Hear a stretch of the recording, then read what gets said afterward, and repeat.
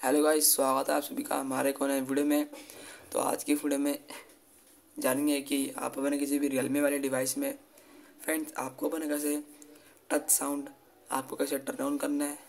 Friends video को शुरू करने से पहले अगर आप हमारे चैनल पर नए हैं तो वीडियो को लाइक एंड सब्सक्राइब ज़रूर कर ले। तो गाइस, यहाँ पे वीडियो को स्टार्ट करते हैं। सिंपली फ्रेंड्स आपको अपना टच साउंड टर्न ऑन करने के लिए फ्रेंड्स आपको यहाँ पे सेटिंग ओपन कर लेना है।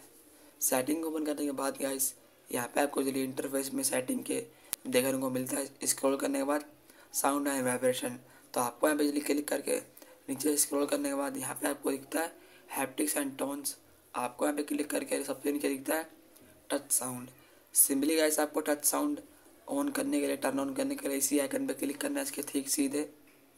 फ्रेंड जब भी आप अपने फ़ोन को टच करते हैं फ्रेंड्स आपको टच की साउंड की आवाज़ सुनाई देगी मतलब उसकी टच की साउंड जो है टर्न ऑन हो चुका है।